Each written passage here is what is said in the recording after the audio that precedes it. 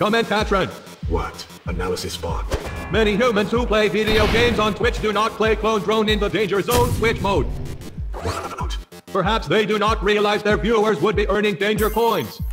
And they would be betting those coins on game outcomes to earn more coins. You in. Ah! Shit! But what can they do with so many coins? They can spawn enemies. They control players with emoticons. Salt. Kappa, Kappa, your face!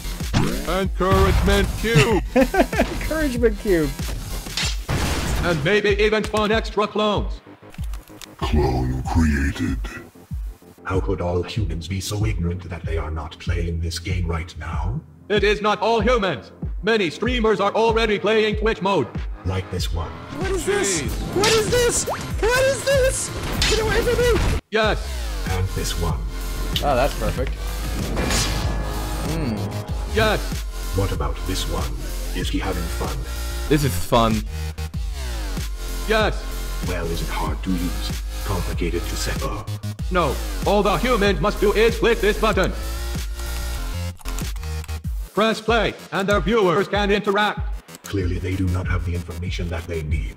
Humans, can you hear us? Interacting with Twitch mode is the optimal way to experience life. Before we incinerate your body and harvest your mind.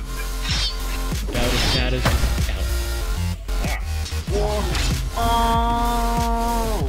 If I hear one more cheese, people are gonna get some Twitch mode.